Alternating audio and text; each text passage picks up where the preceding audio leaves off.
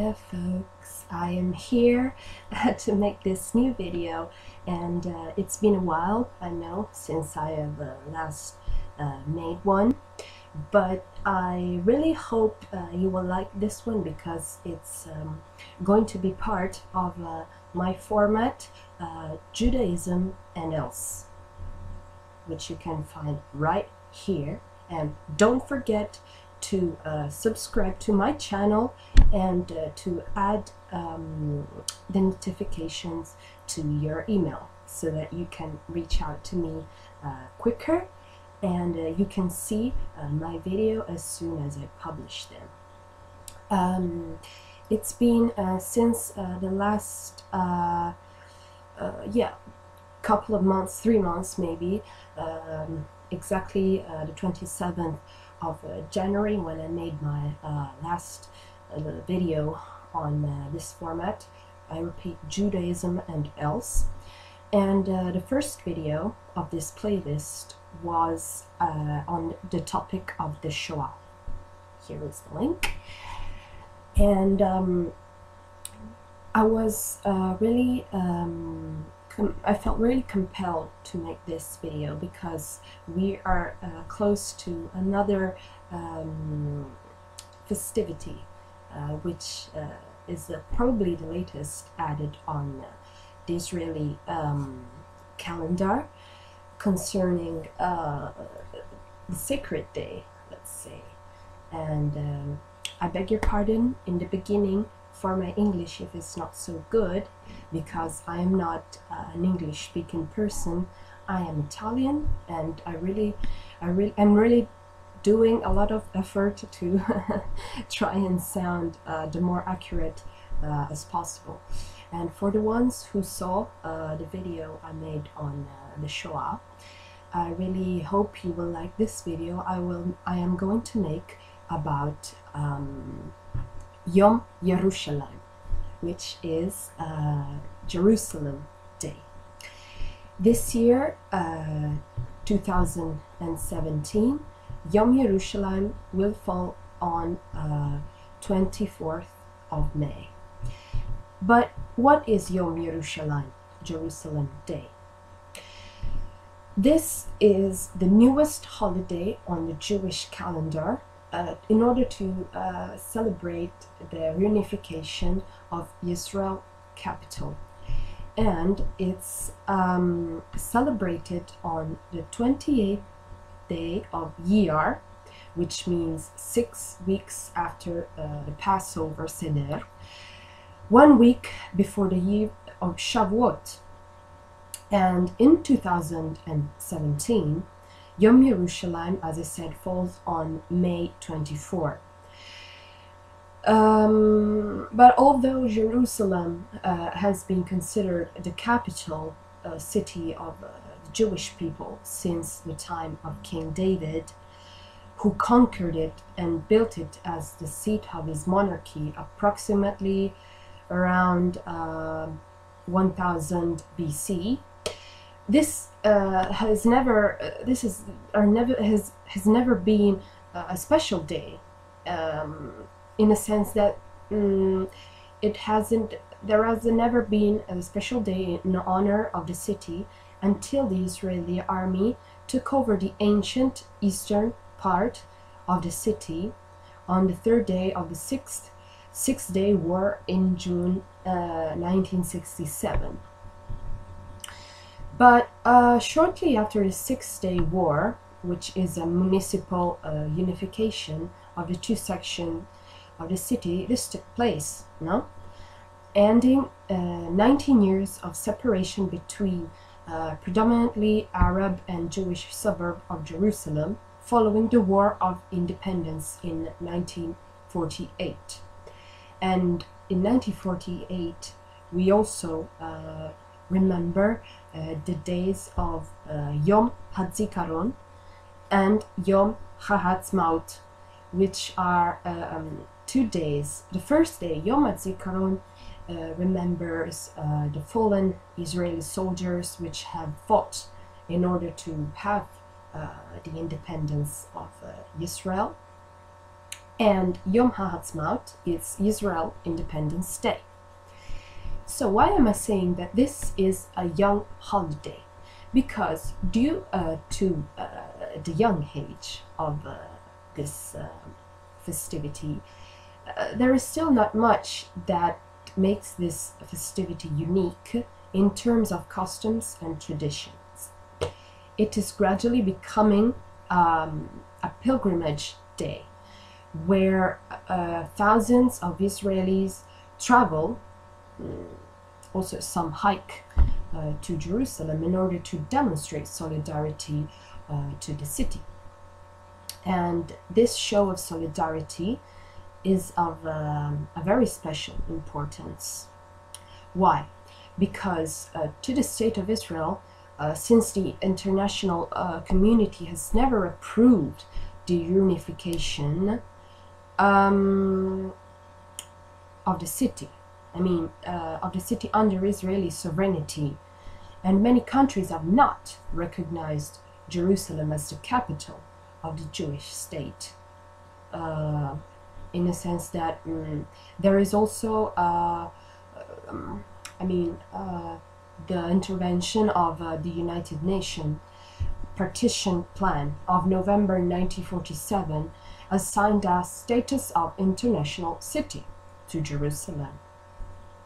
And um, this, um, this took place, as I said, in the, the latest 60s when Moshe Dayan Yitzhak Rabin, uh, Rehavam Ze'evi, and Uzi Narkis uh, were actually themselves in the old city of Jerusalem during the Six Day War.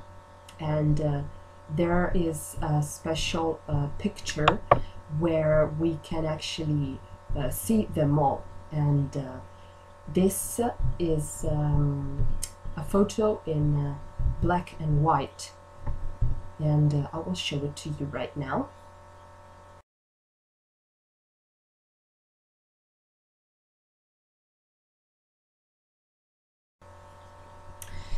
And um, what's more, the Israeli education system devotes the week preceding this day to enhancing the knowledge of uh, the Israeli history and geography, with a, a special emphasis on the unique role that it played in the Jewish mm, in the Jewish messianic aspiration since biblical times.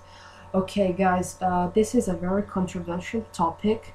I don't want to talk much about it because, um, as a person who studies the Jewish culture, the Israeli culture, the language, and so on, uh, I saw that there is a very uh, evident clash uh, among the, the different uh, beliefs in Judaism. And Messianic uh, Judaism is probably one of the most um, critical, uh, let's say, situations. because, as you know, Jewish messianic, messianics um, I said I don't want to talk much about it, but it's better that I do at least uh, uh, some uh, some explanation. I mean, uh, Messianics uh, believe that there is actually the Mashiach, while uh, the real Jewish people are still waiting for the Mashiach. So. Mm, probably have confused uh, uh, Messianic Judaism uh, as a sort of inspiration to Catholicism, but I mean, it's it's really not.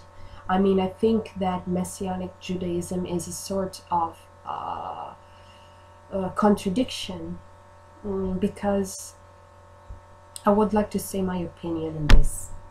If uh, people that are uh, Christians, mm, if people that are Christians actually believe in uh, in Jesus, um, I wonder why they say that the Jewish people have been left behind with their faith, they have not been advancing. But I, I think this is actually very, very nasty, nasty towards them, because how are they supposed to believe in a faith, in someone, if they want to say, in someone that has come 3,000 years after? It's not possible because this would mean to change a faith, a religion, something that you believe in. If you if you've believed in something for 3,000 years or more, it is not possible to change the roots and uh, the traditions of uh, the real Judaism.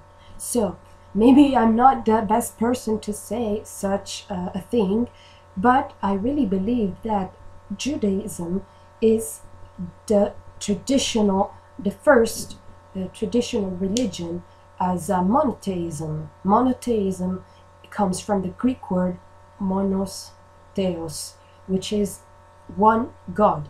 They believe in one God and God first uh, got his manifestations to the Jews, to Moses. So, mm, why are they supposed to change their faiths where in, there is nothing to change, to tell the truth? I mean, this is not possible.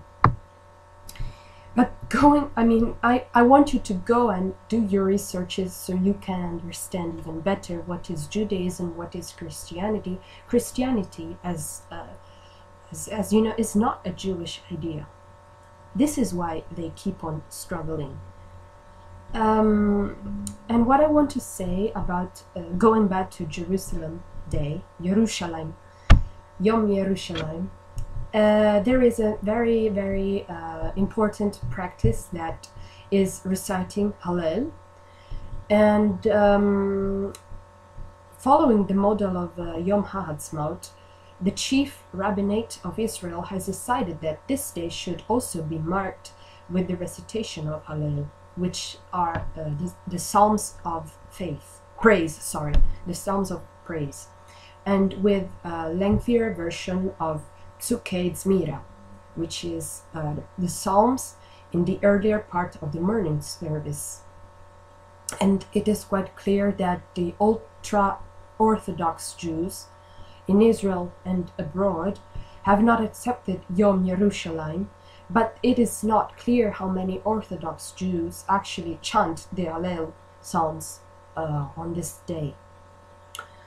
And uh, Israel uh, Progressive prayer book uh, notes that Hallel should be recited on Yom Yerushalayim, but not on uh, not, not so uh, the Masorti, which is the conservative Jews prayer book, which does suggest a list of supplemental readings for this day.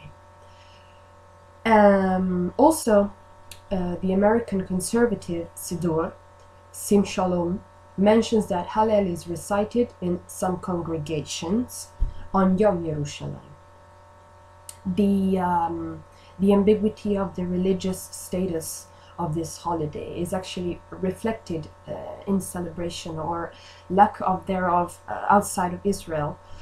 Uh, while the city uh, of Jerusalem has significant meaning for all the Jews, uh, Yom Yerushalayim has yet to attain the popularity of Yom HaHatzmaut, and it's not it's not observed extensively outside of Israel. So I feel like saying this is felt like um, more into Jerusalem itself and in Israel itself rather than the rest of uh, the Jewish world. Um,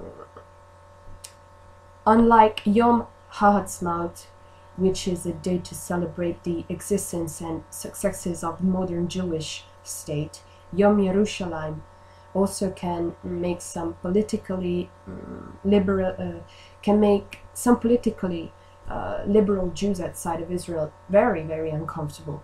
Why am I saying this? Because due to the continuing conflicts over the future of the city. As we know, uh, Jerusalem is uh, constantly uh, Israel, uh, not only Jerusalem, but Israel is uh, uh, constantly a theater of many clashes.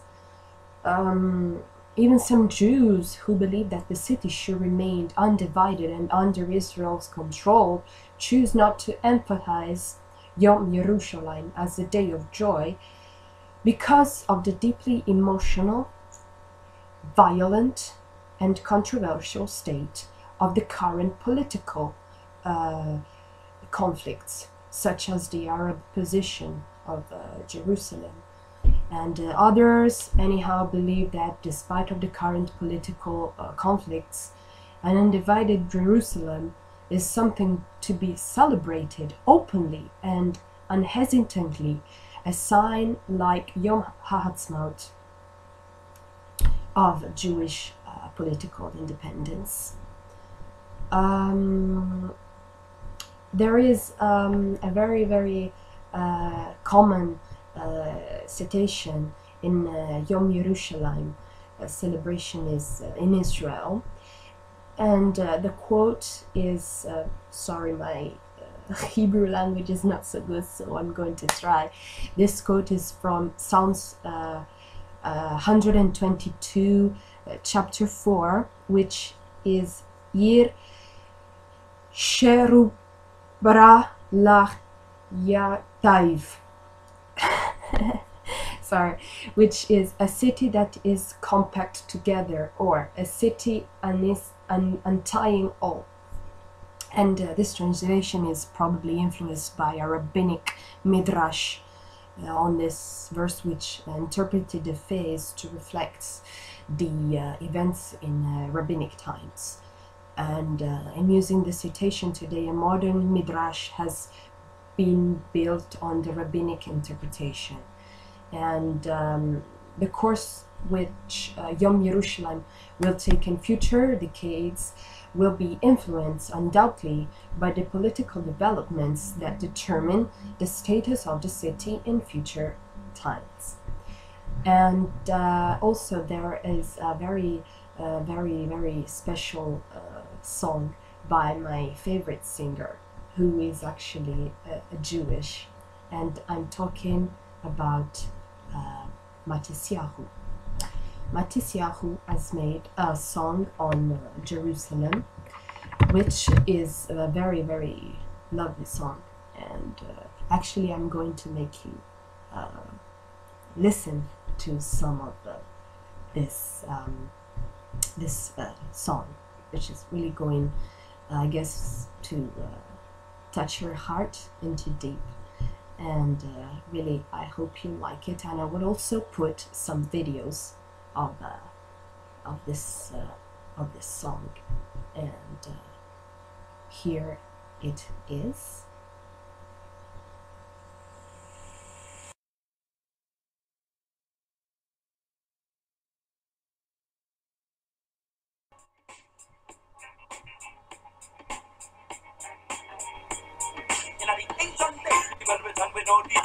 Picking up the mountain and guns and. We've been traveling from state to state, and I don't understand what they say. Three thousand years in no place to be. No one has to give up on milk and money, don't you see? Not about the land or the sea, not the country, but the queen of His Majesty. Jerusalem, please don't forget you. And I can come from it home. Jerusalem, if I forget you. And my right hand forget what it's supposed to do. Jerusalem, if I forget you. I am not gonna come from the it. Jerusalem, if I forget you. And my right hand forget what it's do. Said I'm better than a crown of glory. Years gone by, about 16, we were burning the oven in the sanctuary. And I got strike up, but they couldn't choke me. We're not like that, and we're not fall asleep. So the come disease, get it trying to be free. Erase the demons out of your memory. Change your name and your identity. I'm free of the past and the dark history. Why is everybody always chasing me? Cut off the roots from your family tree. Don't you see? That's not the way to be. Jerusalem, please don't forget you. I am not come from it from Jerusalem, if I forget you In my right hand forget what it's supposed to do Jerusalem, if I forget you As um, to I also want to add, this uh, special song uh, is based on Psalm 27. and uh, I suggest you go and read this song. And uh, I really would like to say that I hope you enjoy this uh, video I made, uh, and that could uh, help you learn something new. And uh, again, in order to show my support to Israel, Am Israel Chai, the people of Israel lives.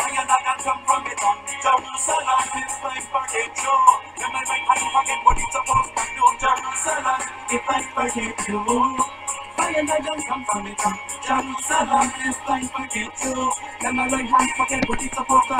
Jerusalem, if I forget you. Jerusalem, if I forget